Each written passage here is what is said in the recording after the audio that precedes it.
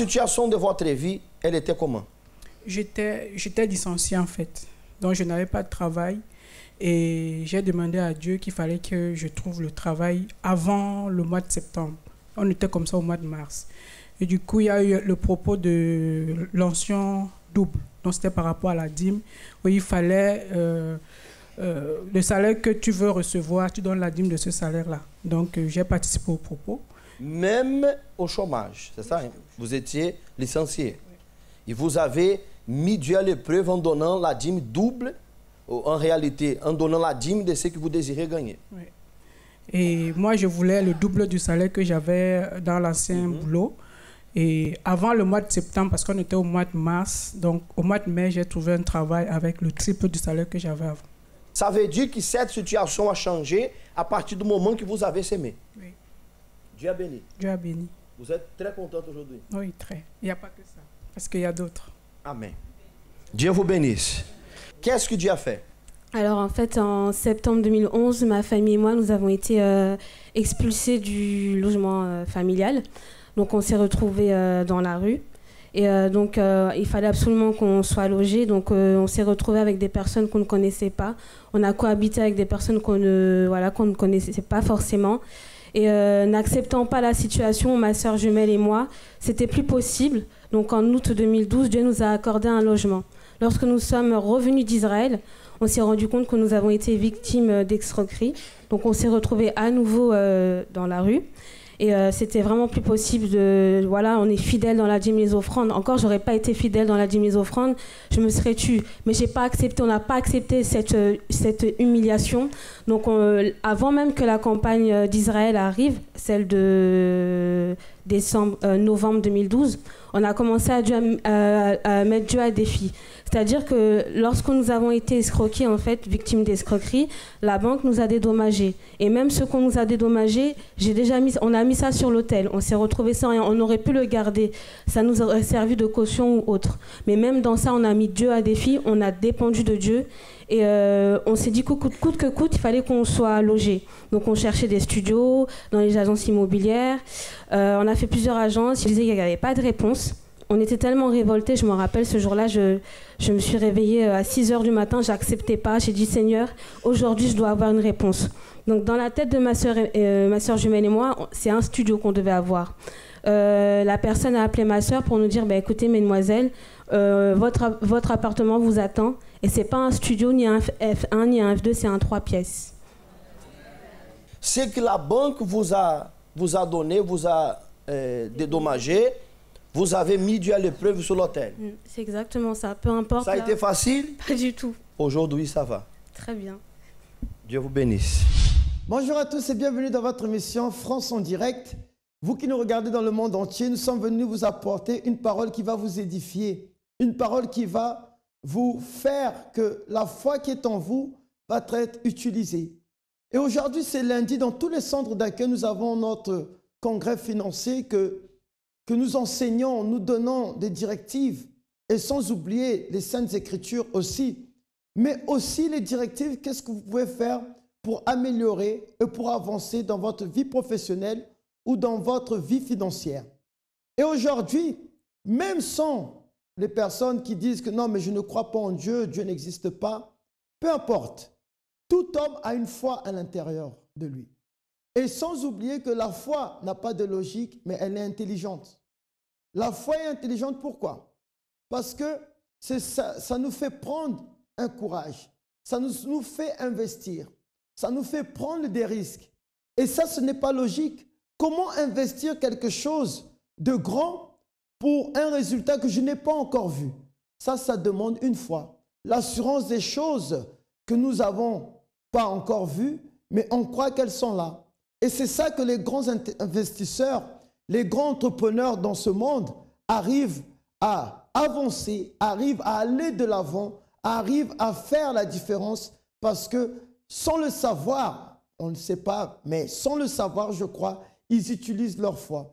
Et toi qui crois en Dieu, toi qui as une certitude que Dieu peut faire l'impossible devenir possible, il peut faire que le possible se matérialise à celui qui croit. Alors toi qui regardes cette émission en ce moment, on va écouter le témoignage de Gerda, une personne qui est arrivée au centre d'accueil, qui n'avait pas des moyens financiers, qui avait une vie professionnelle plus bas que terre.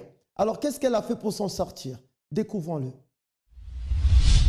Avant, j'arrivais au centre d'accueil.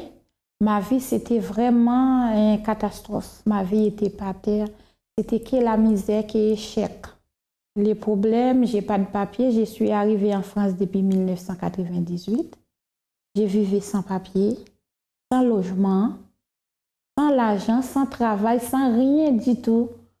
Et avec mes deux enfants. Comment que j'ai fait? Parfois, c'est des amis. Parfois, c'est les pères des enfants qui m'ont donné quelque chose, mais c'était des miettes. Parfois, c'est la personne qui m'a hébergé aussi, qui m'avait donné quelque chose pour donner aux enfants. Eh bien, à cette époque, la façon que j'aimais ça, comment je peux expliquer? Parfois, j'ai envie même de suicider, mais je n'ai pas le courage de faire. Après, j'ai dit, non, si j'ai mère, c'est qui, qui va s'occuper aux enfants? Si j'avais un enfant qui était au pays, j'ai même pas de possibilité d'envoyer même pas un centime. Parce que j'en ai même pas pour donner à celui qui était avec moi, les deux qui étaient avec moi à l'époque. Je trouve pas pour j'ai envoyé pour celui qui est là-bas. J'arrive même pas à nourrir celui qui était avec moi. C'était là vraiment, vraiment la misère. Parfois, vos entrailles en train Je ne peux pas vous dire, ça vous fait du mal. J'ai pleuré. J'ai pleuré. Parfois, j'ai même allé voir les médecins pour me donner des médicaments comme dépressifs. Parce que c'était trop dur. Oui, à, l'époque, oui, j'étais déprimée. Déprimée jusqu'à ce que j'arrive pas à dormir les soirs. Et ensuite, j'ai même allé voir les médecins parce que j'avais aide médicale l'État à l'époque, je me rappelle. J'avais aide médicale l'État. C'est grâce à cette aide médicale, je puisse me soigner et quand les enfants aussi sont malades, j'ai ramené à l'hôpital ou chez les docteurs. Parce que j'ai trop réfléchi. J'ai pris des médicaments pour dormir parce que j'ai trop réfléchi. Avec tout ce que j'ai en train d'enfanter, il faut que je prenne des calmants pour, pour, pour je fermer l'œil. Parce que parfois, j'ai pas de sommeil, vraiment pas de sommeil. Je ne pouvais pas dormir. Parce que j'ai dormi, je suis hébergée chez les gens. Et ensuite, avec tous les insultes que vous entendez aussi, parfois, ils m'ont donné à manger, je ne pouvais même pas manger. Mais quand vous avez, quand vous n'avez pas de logement, vous vivez chez les gens, ils vous donnent à dormir avec vos enfants pour nourrir vous. Et ensuite, vos enfants, c'était vraiment catastrophe. Donc, comme vous pouvez le remarquer, que vous n'êtes pas les seuls à avoir ce genre de problème, comme Guerda, j'ai mal prononcé le nom au début, mais je crois que c'est Guerda. Elle avait des problèmes financiers, pas de diplôme, pas de logement, dépendre des autres. Elle avait des enfants qu'elle a laissés en Haïti, des personnes qui, qui vraiment sont en train de souffrir en ce moment et peut-être ils se relatent à ce témoignage. Alors vous, peut-être qui ne savez pas encore une fois de plus que tout est possible à celui qui croit, alors c'est à vous d'investir votre foi sur cette foi qui n'a pas de logique, mais qui est intelligente. Ça, c'est ce que on vous enseigne au centre d'accueil. Dans les congrès financiers, quand vous venez dans votre, pour votre vie professionnels tous les lundis dans tous les centres d'accueil au monde entier. On vous enseigne comment utiliser la foi qui n'a pas de logique, mais qui est intelligente. Parce que c'est quelque chose que nous ne pouvons pas prouver. Et tout le monde le fait, même ceux qui ne viennent pas au centre d'accueil, qui aujourd'hui ont des grandes entreprises. Et c'est ce que Mme Guerda a fait. Elle a investi, elle a relevé le défi, elle ne savait pas que si elle se lançait dans cette course, elle allait s'en sortir. Mais une chose qui était sûre, il y avait un problème peut-être qui se relate au vôtre. Il y avait un problème qu'elle avait peut-être qui est similaire au vôtre. Alors, n'attendez pas, vous pouvez utiliser votre foi qui n'a pas de logique, mais qui est intelligente. Alors, c'est ça qu'on vous enseigne. On va regarder la suite du témoignage de, euh, Gerda qui est arrivée au centre d'accueil Et c'est sûr qu'elle a pu faire des chaînes de prière, elle a pu participer à des défis et des campagnes d'Israël. Sinon, je ne crois pas qu'elle serait en train de donner son témoignage. Regardons la suite de son témoignage et puis on revient à tout de suite. Moi, je connais Centre d'accueil depuis 2006. C'est la marraine de ma fille qui m'a invitée. Et une après-midi, j'étais partie pour participer dans la réunion. Moi, campagne Israël, pour moi, quand quelqu'un m'avait parlé de campagne Israël, m'a dit campagne Israël, pour moi, campagne Israël, c'est un sacrifice. Sacrifice, après, vous avez sacrifié quelque chose, après, il y a une récompense après. Parce que moi, à chaque campagne Israël que j'ai participé, j'ai toujours obtenu ce que j'ai demandé. Mon état d'esprit, comment j'étais à l'époque, j'ai dit la façon le pasteur et l'homme de Dieu a expliqué, j'ai dit bon, il faut que, même quand j'ai pas grand-chose, il faut que j'ai participé avec le peu que j'ai. Si c'est comme ça, ça va marcher pour moi. Parce que j'ai besoin de quelque chose, il faut que j'ai trouvé. Et en ce moment-là, j'ai fait les la campagne d'Israël, j'ai fait le jeûne, j'ai fait la prière et ensuite j'ai sacrifié aussi financièrement. C'était pas évident. Sorti par terre comme ça, si vous avez commencé, si vous trouvez quelque chose pour nourrir les enfants, si vous trouvez quelque chose pour acheter les besoins et ensuite pour sacrifier, c'est pas, c'était vraiment pas facile. Mais Dieu m'a donné le courage, il sait pourquoi. Ce qu'elle est en train de dire, c'est très fort parce qu'elle dit que la campagne d'Israël était le seul moyen qui pouvait la faire sortir de ce milieu. Mais comment elle pouvait participer à la campagne d'Israël si elle était dans le manque, si elle n'avait même pas un logement, même si elle avait pas une, elle avait une situation très délicate, très difficile? Mais c'est ce que je vous ai dit. La foi n'a pas de logique, mais elle est intelligente. Pour tous ceux qui l'agissent, pour tous ceux qui la mettent en pratique, alors c'est eux qui découvrent le biais de la foi. Elle ne peut pas s'expliquer. Je ne peux, pas vous la démontrer comme on démontre euh, la mathématique.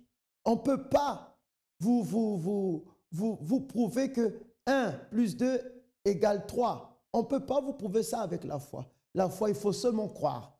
Alors, si vous voulez manifester votre foi à travers les congrès financiers que nous avons tous les lundis, alors aujourd'hui, vous avez l'opportunité, je crois qu'il reste encore le culte de midi, il reste le culte de 15h et 20h pour toute euh, la réunion principale, pour tous les membres qui viennent au centre d'accueil. Alors si vous voulez y accéder, vous pouvez venir au 254 rue du Faubourg Saint-Martin, Paris 10e, emprunter la ligne 2, 5 et 7 et descendre à Stalingrad, ou bien la ligne 7 et 7 bis et descendre à Louis Blanc. 5 minutes de marche, vous y êtes et il y aura une personne, des conseillers, des pasteurs qui pourront vous diriger vers le centre d'accueil le plus proche de chez vous. Si ça c'est le cas, peut-être vous vous trouvez à des milliers de kilomètres de l'île de France, alors vous pouvez appeler le 01 53 35 85 12. Je répète encore le 01 53 35 85 12 et à venir apprendre à utiliser votre foi qui n'a pas de logique mais qui est intelligente. Ça, c'est une certitude qui se trouve en la personne. Et pour que cette foi soit motivée, il faut venir écouter la parole de Dieu. C'est ça, c'est la parole de Dieu qui nous motive, qui met cette foi en activité. Parce qu'elle est à l'intérieur de nous. Mais sans la parole de Dieu, elle ne peut pas se faire. Donc, on va regarder la suite du, du témoignage de Mme Gerda. Et elle va dire qu'est-ce qu'elle a reçu maintenant, comment est sa vie? Eh bien, maintenant, les vies que j'avais avant, maintenant, c'est totalement les passé. Actuellement, je ne peux pas dire j'ai la richesse. En premièrement, j'ai la grâce de Dieu, j'ai la paix à l'intérieur de moi. J'ai deux solutions. Dieu a résolu beaucoup, beaucoup de choses dans ma vie. En faisant des sacrifices, je puisse obtenir mon papier, Maintenant, j'ai une résidence de 10 ans. J'ai même déposé la demande de naturalisation. après j'ai fini d'obtenir ma résidence, j'ai fait une demande de formation qui était rémunérée par le conseil général et puis obtenir mon diplôme. Un mois après, j'ai terminé ma formation. J'ai commencé à travailler dans une structure que j'ai obtenue et j'ai fait un, stage. Après un mois, j'ai commencé à travailler avec cette société-là depuis 2009 à nos jours. Et ensuite, après, c'était difficile pour que je signe mon CDI. J'ai encore fait des sacrifices, la campagne d'Israël. J'ai fait la campagne d'Israël, j'ai fait des propos, des propos, des attitudes.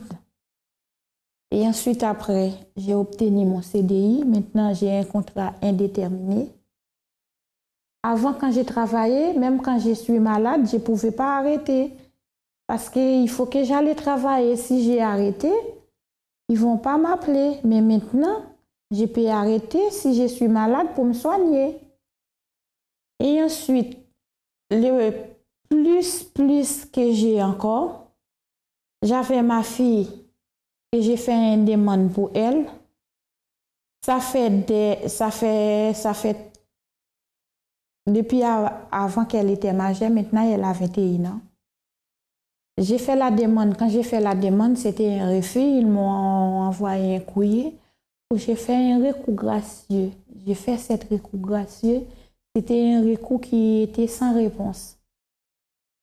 J'ai même allé voir mon conseiller. J'ai dit, mais je ne sais pas comment. J'ai fait une demande, c'était un refus. Normalement, il faut avoir une réponse après, un recours gracieux. Et ensuite, il a dit, oui, c'est vrai il m'a envoyé où je vois quelqu'un qui est spécialisé dans ce domaine pour faire un relancement pour moi. Oui, maintenant elle est là, ma fille. Ma fille, elle est là. Par rapport au sacrifice des campagnes Israël. C'est pour cela que je vous dis, quand vous avez fait la campagne d'Israël, ce n'est pas quelque chose qu'on fait en vain. Parce qu'après un sacrifice, il y a toujours une récompense. Ma récompense, elle est là, actuellement, avec moi depuis le 15 décembre 2014. Je puisse passer la fête des Nouvel An avec ma fille. C'est une grâce que Dieu m'a fait, franchement. Jusqu'à présent, ma fille, elle est là avec moi. Ça fait un mois, une semaine. Moi, j'ai continué à rêver. J'ai dit, dit non, je rêve pas. Elle est là. C'est véritable, si je rêve pas. Moi, centre d'accueil, c'est tout pour moi. Hein. C'est tout pour moi. C'est là que j'ai trouvé la paix hein, en priant Dieu. En, d'accueil, c'est ma vie. D'accueil, c'est ma vie. Vous savez, il y a aussi parfois, même quand il n'y a pas de campagne Israël, dès que j'ai peu de choses, je peux faire des attitudes comme ça. Parce que moi, c'est en faisant ça, j'ai trouvé tout ce que j'ai pu obtenir. Alors, vous avez pu voir le témoignage. Tout qui peut-être commençait mal a fini bien. Alors, c'est une certitude. Aujourd'hui, elle a pu avoir sa carte de résident de 10 ans. Elle a pu avoir un CDI, avoir un diplôme. Elle a fait son regroupement familial. Les enfants qui étaient dispersés, qui étaient en Haïti, aujourd'hui, ils sont tous réunis. Enfin, c'est à vous maintenant de jouer. Et sans oublier que nous sommes dans le jeûne de Daniel. Nous sommes dans le cinquième jour. Et il dit, je mettrai mon esprit en vous et je serai en sorte que vous suivez mes ordonnances. Je ferai en sorte que vous suivez mes ordonnances. Si l'Esprit de Dieu me dirige, alors qui va me contrôler? Qui va parler en moi? Qui sera sous ma langue? Qui sera dans mon intérieur? C'est sûr que ce sera la présence de Dieu. Et c'est ce que nous sommes en train d'inviter toutes les personnes à participer à ce propos de foi que nous sommes en train de faire dans tous les centres d'accueil. Le jeûne de Daniel, 21 jours de se rapprocher de Dieu, de désintoxication des choses de ce monde, des choses qui nous empêchent de nous investir dans notre vie spirituelle, de nous investir dans la parole, de nous investir dans le monde spirituel que qui se trouve juste à nos côtés et que des fois on ignore, que des fois on ne veut pas prendre compte, mais que celui qui s'y plonge, alors quand il ressort, il ressort béni. Alors on va regarder le témoignage de cette personne qui a participé à la campagne d'Israël et qu'aujourd'hui, par le biais de sa foi, et aussi, faut pas oublier, parce que si j'arrive à faire confiance en Dieu, alors je dois aussi lui faire confiance qui peut habiter en moi. Et c'est ce que nous disons dans le jeûne de Daniel. Avant d'être venu au centre d'accueil, quel était le problème? Le problème était dans ma vie professionnelle, parce que j'avais fini mes études, j'avais un bac plus 5 en diplomatie et négociation stratégique, mais je ne trouvais pas d'emploi. J'avais les études, mais euh, aucune porte ne s'ouvrait. Je postulais partout, j'envoyais mes candidatures partout, rien, pas de réponse. Euh, on me disait, vous avez un très bon, profil, mais euh, il n'y avait pas d'emploi. C'était euh, pas de solution. Pendant deux ans, j'ai cherché un emploi, avant et après en étant à l'église, mais aucune porte ne s'ouvrait. Il y a eu des moments de découragement, il y a eu des moments où je me suis dit, enfin, je comprends pas, quoi, c'est pas, pas normal. Et surtout que je me disais, tout, pendant longtemps, je me disais peut-être que je vais pas dans le domaine que, Dieu a prévu pour moi. Donc, euh, un coup, je me disais, mais c'est pas normal parce que je ne peux pas chercher comme ça pendant autant de temps et ne pas trouver. Peut-être que euh, j'ai un autre talent caché que j'arrive pas à, mettre la main dessus, que c'est peut-être ça et que c'est pas vraiment ce que, ce que Dieu a prévu pour moi. Je faisais les chaînes de prière, mais ce qui annulait, entre guillemets, les chaînes de prière, c'était justement cette idée de penser que c'était peut-être pas dans la bonne direction que j'allais. C'est de pas me, cibler, en fait, jusqu'à ce que je me dise, non, j'ai fait des études pour ça et c'est ce que j'aime faire. Donc, ça peut pas être un autre plan. Euh, euh, X ailleurs, c'est vraiment ce que, euh, ce que j'ai étudié, ce que j'aime faire. Et donc, du coup, que je concentre ma foi sur ça. La dernière campagne d'Israël, là, je me suis dit, mon tour est arrivé. Je me suis dit que c'était pas, ça, ça, pouvait plus, enfin, 2013 pouvait pas se terminer comme ça, encore une fois. Et j'ai vraiment concentré ma foi. Là, je me suis dit, c'est ce que je voulais faire. Et il y a eu beaucoup de pensées négatives de personnes. Pour une fois que j'avais réussi à, dominer moi-même et me dire non, c'était vraiment ce que je, je voulais faire, Là, c'était les gens qui me disaient, encore une fois, que c'était peut-être pas ça que, euh, que je voulais faire, ou peut-être fallait que je quitte la France, que j'aille à l'étranger, que j'aurais plus de chance à l'étranger, ou qu'en France, ils étaient racistes, et que euh, peut-être que ça n'allait pas marcher. Mais là, j'ai dit non. Là, euh, ça n'allait pas marcher une fois de plus. Là, j'ai bloqué. J'ai attaché le diable et j'ai dit non. Ça, je suis en France, il n'y a pas de moyen que j'aille ailleurs. Non, je vais rester là, c'est ici que j'aurai ma victoire. Et je me suis lancée dans la campagne, totalement. J'ai sacrifié. J'ai vraiment mis mon tout sur l'autel. J'ai dit à Dieu, je dépends de toi. Là, je vais voir si vraiment c'est eux qui ont raison ou si c'est toi qui as raison. Donc, je faisais les démarches d'aller jusque chez ma soeur qui habitait euh, une heure et demie, deux heures plus loin que chez moi pour postuler, pour envoyer les candidatures, pour pas lâcher parce que j'avais mis non tout, mais c'était pas, c'était pas fini. J'ai fait moi euh, mes démarches euh, à côté et j'ai été bénie. Donc là, j'ai un CDI en tant que juriste international dans une société et euh, c'était un poste qui convenait euh, complètement avec, avec mon cursus. Ce n'est pas aller dans un autre domaine en disant je prends autre chose en attendant. C'était quelque chose qui était vraiment en rapport avec, avec mes, études. Donc c'était top. Qu'est-ce que le centre d'accueil représente pour toi? C'est une école de vie parce que ça permet de, de mettre en pratique la foi, de vraiment... pour moi, c'est une école, c'est une maison, c'est une famille, c'est tout. Il n'y a pas de mot à dire. Que Dieu te bénisse. Amen.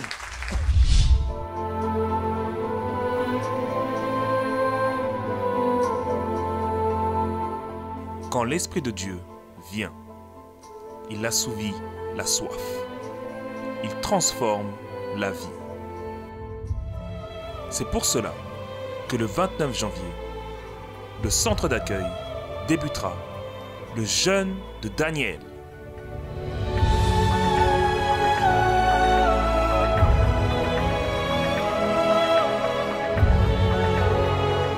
Nous allons nous abstenir pendant 21 jours pour que l'Esprit du Très-Haut vienne à être dans votre vie, dans notre vie, et faire de vous son temple, son habitation. Plongez-vous dans ce jeûne sacré, saint, le jeûne de Daniel. Désirez-vous cela?